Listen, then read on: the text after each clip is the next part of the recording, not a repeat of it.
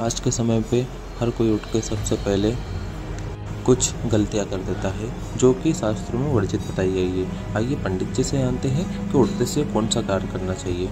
सुबह का समय यानी दिन की शुरुआत, जिसका जैसा उठने का समय है, वो अपने दिन की शुरुआत करता है।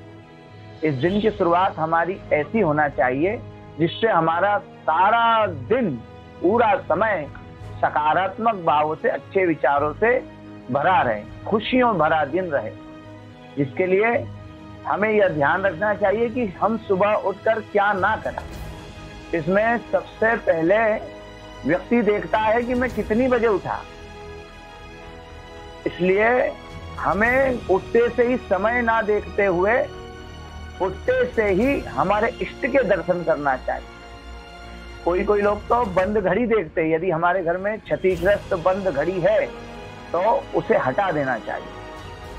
और अच्छी घड़ी, ऐसी घड़ी जिसमें अच्छे से समय दरसता हो, ऐसी घड़ी देखें। दूसरी बात, उठते से ही कई लोग अपना चेहरा देखते हैं कि मैं कैसा दिख रहा हूँ। दिन की शुरुआत में हमें, हमारे इष्ट के दर्शन होना चाहिए, हमारे हाथों के दर्शन होना चाहिए।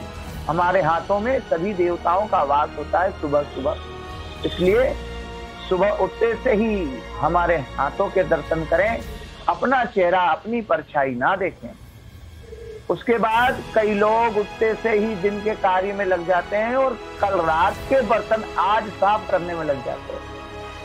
तो उठते से ही हमें पहले कुछ ऐसा कार्य कर देना चाहिए, जिससे कि हमें उठते से जूठन नहीं देखना पड़े, जूठे बर्तन ना देखना पड़े।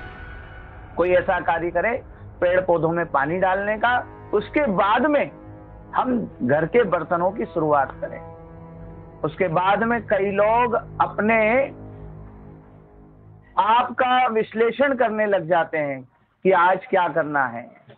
शुरुआत में हमें यह करना चाहिए कि हम उठ करके अपने इष्ट का पूजन कर लें, आराध्य की सेवा करें, उसके बाद दिन की शुरुआत करें।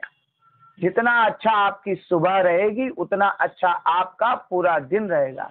इसलिए यह प्रयास करें कि हम सुबह उठने के बाद में ईश्वर से जुड़े, भगवान से जुड़े, अपने भविष्य के लिए हमें क्या करना है, उसके लिए भगवान से प्रार्थना करें। इस प्रकार से यदि हम अपने दिन की शुरुआत करेंगे तो हमारा दिन, हमारा जीवन बहुत अच्छा जाएगा।